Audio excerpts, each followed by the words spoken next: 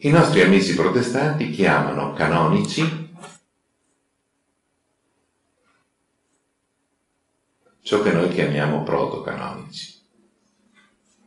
E per loro il testo è ispirato. Invece questi non sono ispirati, ma ciò che loro chiamano apocrifi sono i nostri deuterocanonici. E i nostri apocrifi loro li chiamano pseudoepigrafi.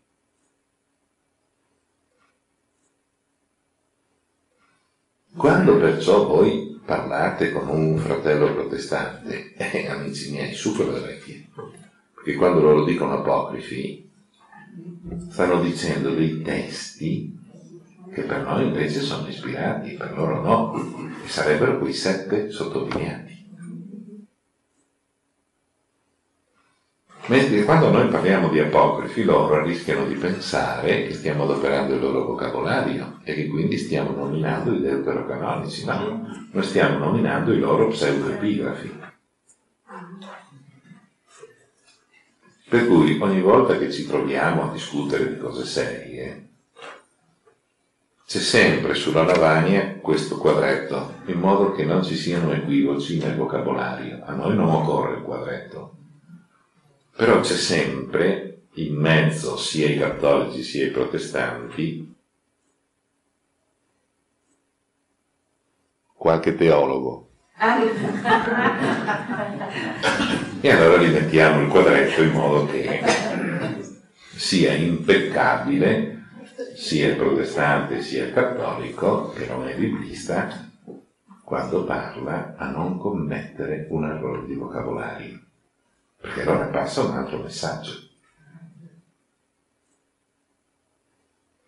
Perciò noi siamo abituati a fare il doppio nome. Quando noi diciamo nei nostri deuterocanonici, i nostri apocrifi, e si parla in modo che proprio ogni equivoco sia totalmente dissipato. Bene, quello che abbiamo visto è solo e unicamente un po' di vocabolario.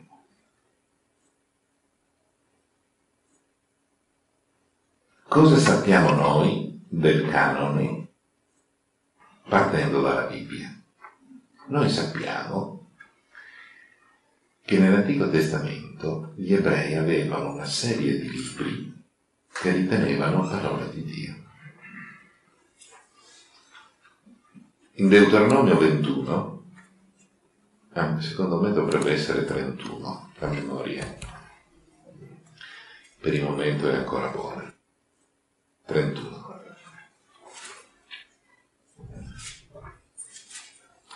Mosè scrisse questa legge, c'è un testo scritto, e la diede ai sacerdoti, figli di Levi, che portavano l'arca dell'alleanza del Signore, e a tutti gli anziani di Israele Mosè diede loro quest'ordine, alla fine di ogni sette anni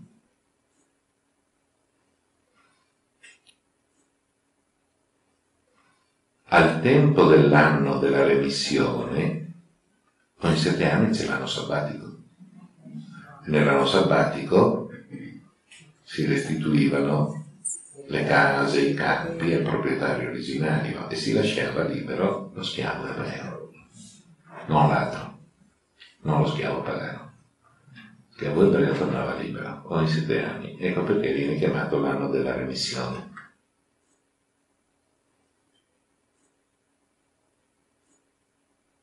Alla festa delle capanne è una delle tre feste importanti di Israele, è quella autunnale. C'è la festa primaverile di Pasqua, c'è la festa estiva dei covoni, e c'è la festa autunnale delle capanne. Sono feste legate al mondo pastorizio e al mondo agricolo. Loro hanno preso queste feste per ricordare episodi dell'Esodo. L'uscita dall'Egitto, la Pasqua, la liberazione, l'alleanza e il soggiorno nel deserto. Quando tutto Israele verrà a presentarsi davanti al Signore tuo Dio, nel luogo che verrà scelto. Di per sé la finzione scenica sarebbe che qui sta parlando Mosè nelle steppe di Moab. Quando voi guardate la Palestina, voi avete il Mar Mediterraneo, la Palestina, i famosi tre quadrati uno sopra l'altro. Sulla vostra destra, al limite dei quadrati, avete il Giordano. In fondo avete il Mar Morto, nel terzo quadrato, sulla destra del terzo quadrato. Al di là del Mar Morto c'è Moab. Gli ebrei erano lì e Mosè sta dicendo come dovranno comportarsi quando entreranno in Palestina. E poiché queste tre feste, Pasqua, Covoni, Capanne, sono feste di pellegrinaggio, cioè tutti i maschi devono scendere a Gerusalemme. Allora si dice, alla fine di ogni sette anni, il tempo dell'anno della remissione, alla festa delle capanne, quando tutto Israele verrà a presentarsi davanti al Signore, cioè verranno al Tempio. Nel luogo che avrà scelto, leggerai questa legge che vuol dire allora che c'erano dei libri.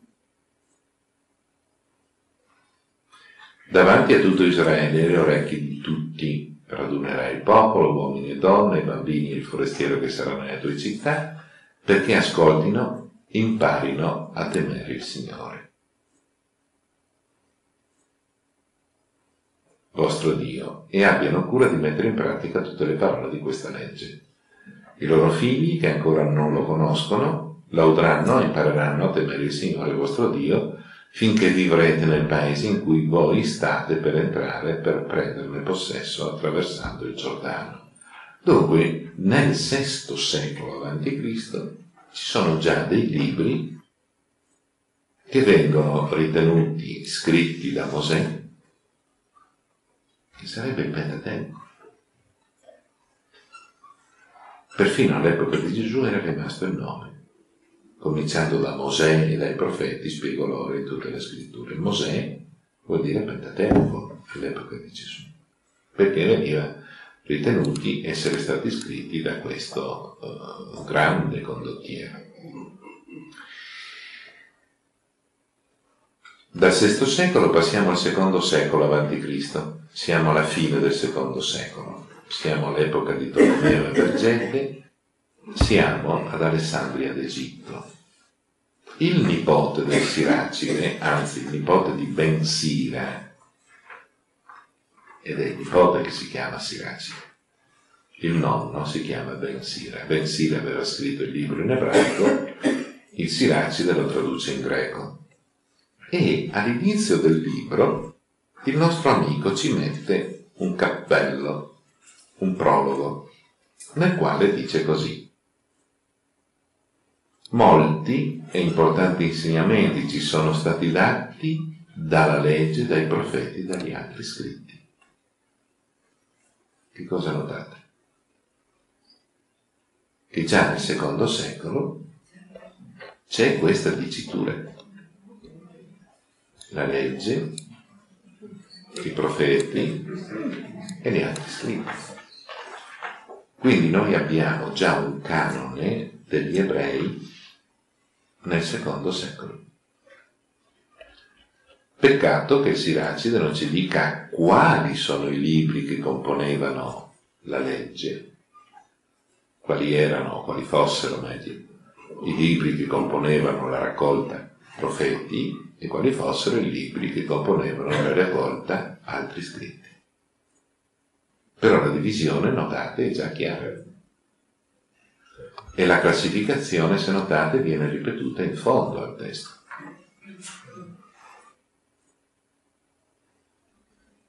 Allora lui dice che questi, queste raccolte sono importanti, per i quali libri è bene dar lode a Israele quanto a dottrina e a sapienza, però non è giusto che vengano a conoscenza solo quelli che li leggono, ma è bene che gli studiosi, con la parola e con gli scritti, si rendano utili a quelli che ne sono al di fuori. Siraci era un biblista come me e dice giusto che la gente conosca tutto questo. Per questo motivo mio nonno Gesù sarebbe questo il Siracide, il Ben, il ben Sira. Per questo motivo mio nonno Gesù, Gesù ben Sira, poi abbiamo scoperto che Sira non è il papà di Gesù, è il nonno. Quindi c'è Sira, il nonno, che deve essere stato una persona importante. Poi c'è Leazzaro, che è il papà, che deve essere stato uno zero sociale. E poi c'è Gesù, ben Sira, figlio di Sira, ma salta una generazione. Da questo comprendiamo che la parola figlio non sempre indica il rapporto diretto. Gli ebrei erano un po' casinisti sotto questo profilo, perché dicevano fratello al cugino, allo zio, al nipote. E l'individuo si diceva figlio, ma si rifaceva, come in questo caso, al nonno, non al proprio papà. Dopo essersi dedicato per tanto tempo alla lettura della legge, dei profeti e degli altri libri, eccoli qua che tornano un'altra volta la triade, avendone conseguito una notevole competenza, fu indotto pure lui a scrivere qualche cosa. È un libro infinito, 42 capitoli, 41 capitoli. Fu indotto pure lui a scrivere qualche cosa su ciò che riguarda la dottrina e la sapienza, perché gli amanti del sapere, assimilato anche questo, possano progredire sempre più nel vivere in maniera conforme alla legge.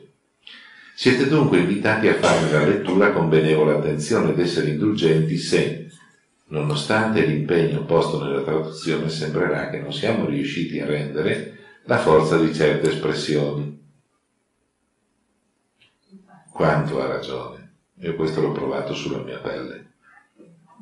Altro è l'ebraico, altro è l'italiano. Difatti, le cose dette in ebraico non hanno la medesima forza quando vengono tradotte in un'altra lingua. E lui, povero, lo stava traducendo in greco. E il greco è una lingua molto ricca, molto più dell'italiano. Eppure anche lui faceva fatica. E non solamente quest'opera, dice il Siracide, è difficile da tradurre, ma anche la stessa legge, i profeti e il resto dei libri nel testo originale conservano un vantaggio non piccolo. Adesso sapete perché esistono i biblisti. Per questo motivo. Bene. Lui, nell'anno 38 del re Vergete, uguale 132 avanti Cristo.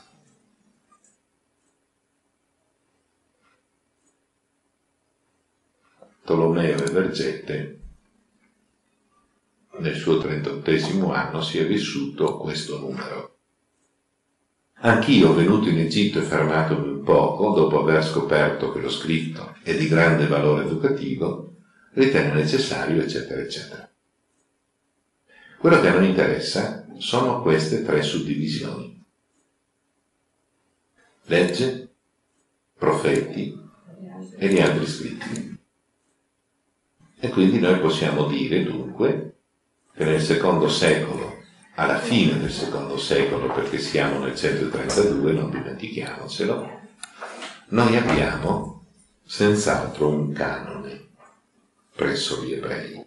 La domanda è, è un canone fisso o è un canone fluttuante? La risposta giusta è la seconda. Dopo spieghiamo questa frasetta. Perché è giusta la seconda?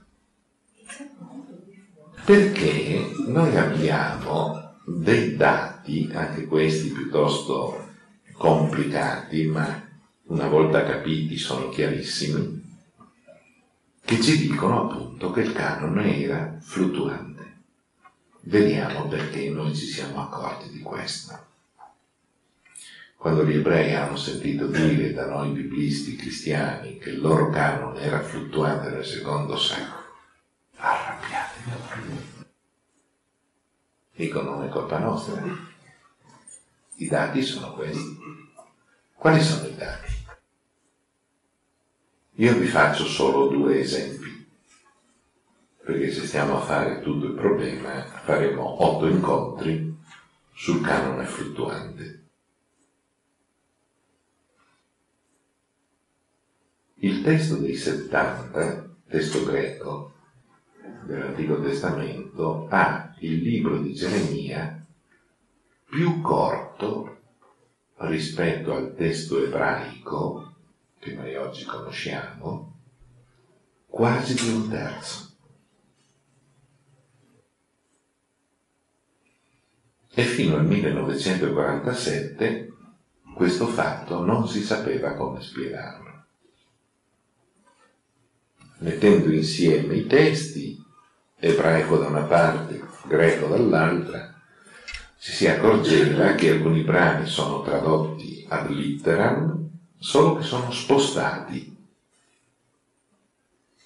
Ciò che si trova, ipotesi, nel terzo capitolo del testo ebraico si trova nel diciottesimo del testo greco. È lo stesso testo, solo che è spostato.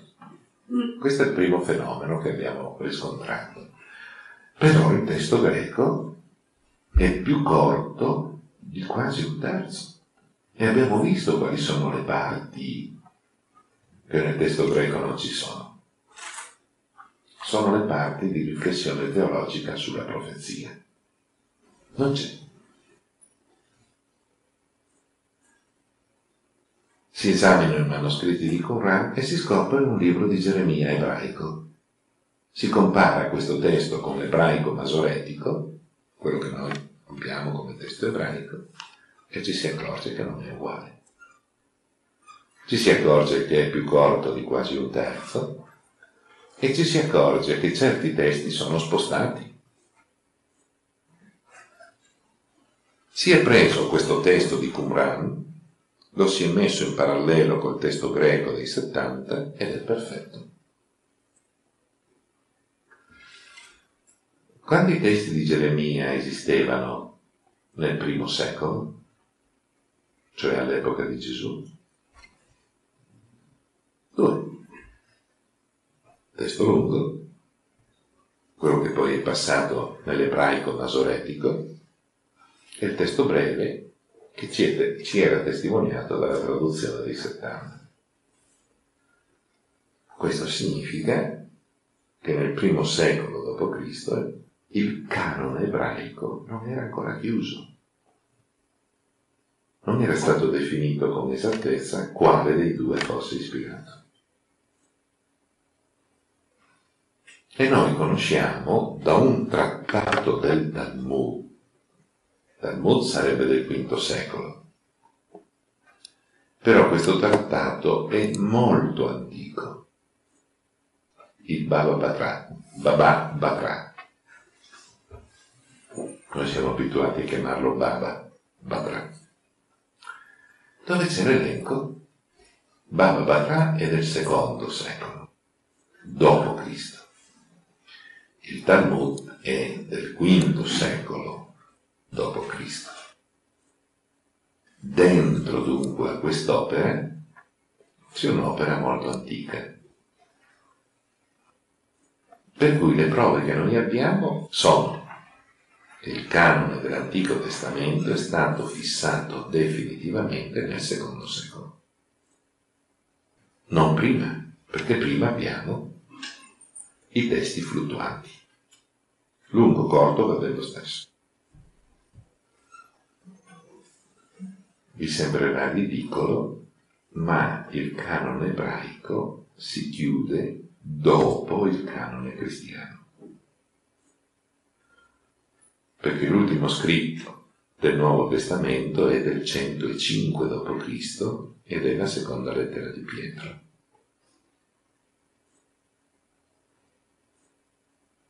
Loro invece chiudono il canone dopo la seconda metà del secondo secolo cioè dopo il 150. noi avevamo già il nostro canone. Quindi il canone cristiano delle scritture non dipende dal canone ebraico. Vi è chiaro questa idea? Noi, alle soglie del secondo secolo, avevamo già il nostro canone. Del canone ebraico. Vi è chiaro? La cosa che ci ha impressionato di più non è tanto che noi abbiamo chiuso il canone dell'antico e il canone del nuovo già all'inizio del secondo secolo, ma quello che ci impressiona di più è che negli scritti del Nuovo Testamento noi abbiamo le citazioni del testo greco dell'Antico Testamento, non del testo ebraico. Il che ci fa sospettare che la Chiesa abbia scelto come testo dell'Antico Testamento non il testo ebraico, ma il testo dei 70. In un periodo in cui il canone ebraico era ancora fluttuante. I cristiani hanno detto della fluttuazione a noi non interessa, interessa questo. Anche se alcune eccezioni le hanno ammesse, perché nel canone cristiano c'è Geremia lungo, non c'è il Geremia greco, ma c'è il Geremia ebraico lungo. Capite perché le cose sono complicate? non è certo materia di una conferenza in cui la dolcezza dell'ascolto si accompagna anche a un messaggio che può interessare nella vita. Oggi è come ciucciare cadenassi. Però è giusto conoscere queste complicazioni, altrimenti voi, con i testimoni di Geova, rimanete sempre impapinati. E adesso nella seconda parte della nostra, della nostra riflessione, toccheremo il problema del canone proprio mondo cattolico e mondo protestante. Questo primo abbiamo accennato qualche maniera il rapporto cristianesimo-ebraismo. Adesso ci prendiamo il sacrosanto caffè e nel secondo round vedremo quest'altra cosa. Sono le 10.29, alle 10.45 siamo qui.